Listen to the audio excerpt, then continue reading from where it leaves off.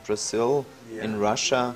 So there are many markets where the where the number of vehicles and the people riding vehicles is still increasing to a great extent. When you look at China, for example, India, yeah. and in, it's a that's a big difference when you look at these evolving markets. Normally, the the rates of accidents is still increasing to a great extent, and the people who are killed are, are strongly increasing still.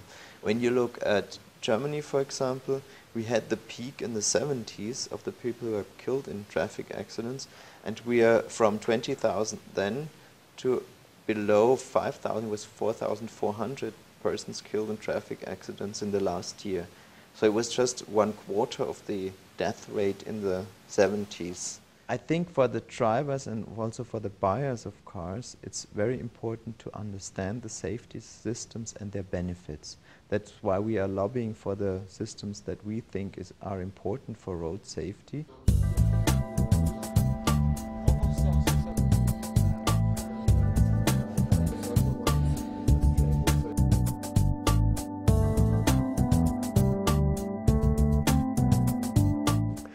Bom, a gente está agora no porão do prédio da AZT, na Alemanha, perto de Munique. E é aqui que são realizados os crash tests. Eles destroem carros aqui sim, mas o grande barato desse lugar é que foi aqui que foi desenvolvido o crash test em baixa velocidade.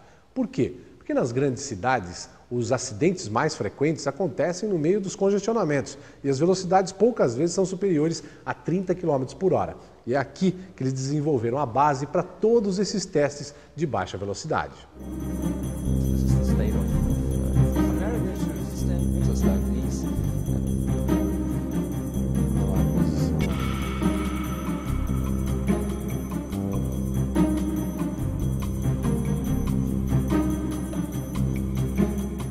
Crash tests have been around from the 50s.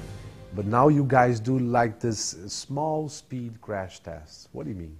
But the importance of the small speed crash test is that they simulate the majority of claims because as I said, the majority of claims happen at very low speed. Yeah, we always have to keep up to date, and we have two major sources for what is happening. First of all, we have a lot of claims from Allianz. We have motor experts in Allianz that give us the information of problems that occur in everyday traffic accidents. They are very important in reducing fatalities on our roads and to reduce injuries.